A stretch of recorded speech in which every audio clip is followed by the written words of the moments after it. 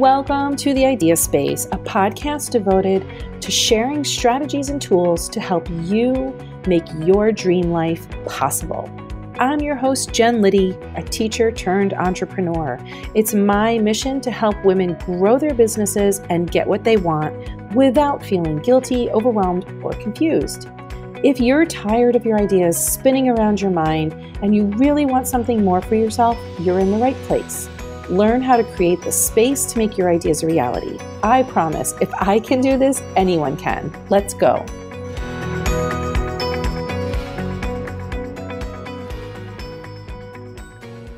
Hi, my friend. Welcome to the Idea Space podcast. I'm your host, Jen Liddy. And every week I try to make this podcast a, a place where we can make little shifts that create big results so that we can create businesses and lives that feel good. But right now, it might be hard to feel good because there's so much incredibly challenging stuff happening in our world.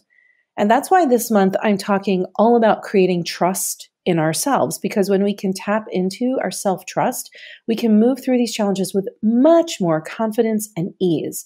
But I admit, when it comes to speaking to my audience about everything from business growth to staying agile during COVID 19 to how to show up authentically in the conversation about racism in America, it's hard to feel confident. It's hard to trust yourself. It's hard to believe that you know what to say or what your next step should be. And so that's why I'm spending a month on this topic because when we learn to trust ourselves, and yes, it's a learning process, getting through the low times is more easeful. So this week, I spent a lot of time thinking about what to say to you in this podcast. And I asked myself many times, do I trust myself to, to write this episode? Should I should I hit record on this? Have you ever spent hours looking endlessly at a white page cursor just blinking at you. That was me this weekend thinking about what I wanted to talk about today. And I basically did the digital version of crumpling up the yellow legal pad paper and throwing it towards the garbage pail, only to try and try and try again and again, unsure where to go, unsure what to do for hours. And if you've been struggling with this feeling in your life or your business or both, I want you to know that everyone is struggling with this and that there are no right answers. And that's that I'm dealing with this too. And it's making me question my own self trust. And here's some of the stuff that's going on in my life right now. Here, basically, this is the tip of the iceberg of three things I can share. Last week, I was exposed to somebody who tested positive for COVID. So we got tested as a family, and we are still in purgatory waiting for the results. And even though our county doesn't require self quarantining while waiting, we decided to do that as a family because it just felt irresponsible to walk around potentially contaminating others. So we've been really homebound while the rest of the world is kind of starting to wake up. And the thing that gets in my head is even if I had a result to report, what, is, what does it mean, right? Like if I'm positive but asymptomatic, should I ever go back into the world? And if I'm negative, how long until I do become infected? These are the kinds of thoughts that make us doubt ourselves. You know, how the big question is how do I trust that I'll know how to move forward? What's the right thing to do? Then, same week, someone very important to me was blindsided by her husband's request for a divorce on Mother's Day, and he delivered that message via his children to her. And where my brain goes is, how do you process that? And then she went on to find some evidence that there was deceit. And so she's feeling shock and sadness. And that's like merely the tip of the iceberg, right? Should she kick him out? Do they fix this? Will therapy help? How does she trust that she knows how to move forward when her core has been shaken? What's the right thing to do? And of course, racism, all of it right here for us to see out in the open. Injustice, unfairness, confusion. And as a white woman of privilege, what should I be doing? How can I take my feelings of guilt and shame and horror and confusion and be helpful with them? And, you know, in my own town, in my own city, rioting and looting have occurred, and we now have an 8 p.m. to 7 a.m. curfew in place. And it's, you know, so many questions about is this justified? What's right? And then that brings us to the question of how will we all trust that we know how to move forward? What's the right thing to do? And so, in these three little scenarios, you can see that there are no answers. Where I'm asking myself for answers. I'm asking myself good questions, but what are the answers? I have no idea. I mean, I have inklings, I have moments of knowing what my next right steps should be and hard conversations I need to have, but mostly I don't know. And I especially don't know what's right for you. And I'm not here to tell you what's right for you. What I am here to, to share with you and to get you thinking about is developing your self trust, because frankly, that's all I've got going for me right now my self trust. It does not mean I know all the answers for myself or for anybody else. What it means is I know there's not one right answer, and I've got to figure out what's right for me.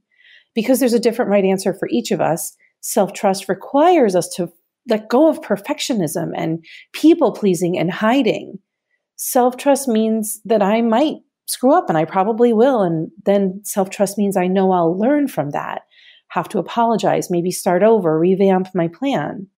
It means that whatever I'm about to jump into is hard and confusing, but I trust that it's the right thing for me and I can handle whatever's on the other side of it, even if it's hard or uncomfortable or imperfect or I need to do it again people, especially my clients, are asking questions like, What if I make a mistake? What if I say the wrong thing? What's the right choice?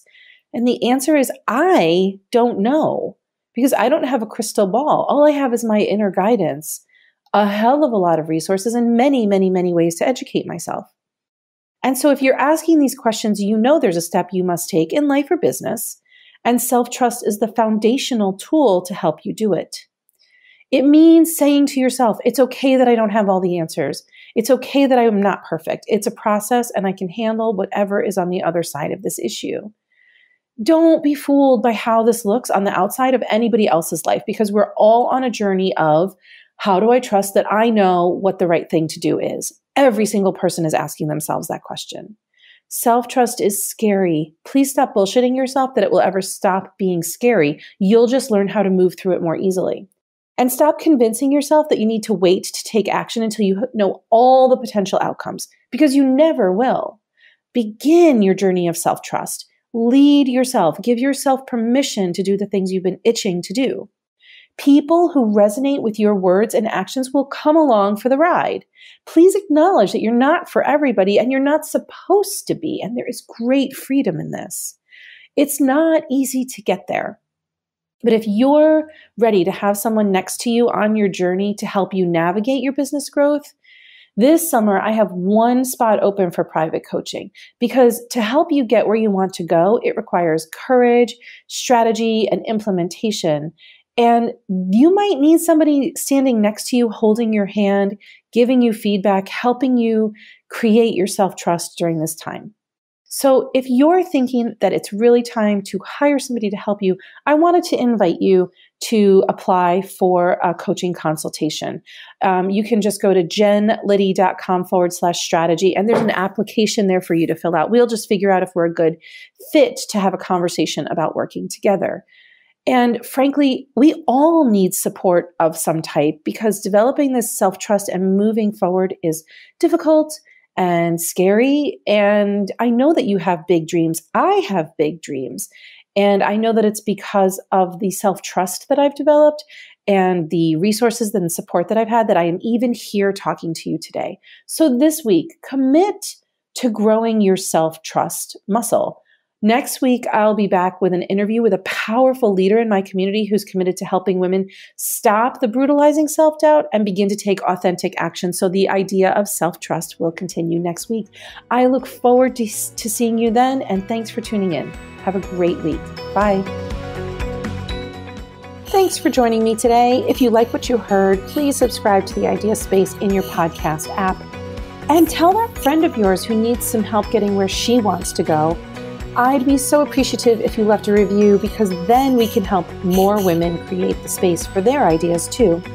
Go to jenliddy.com forward slash free to grab the many free resources there to help you move forward. And I will see you next time. Bye.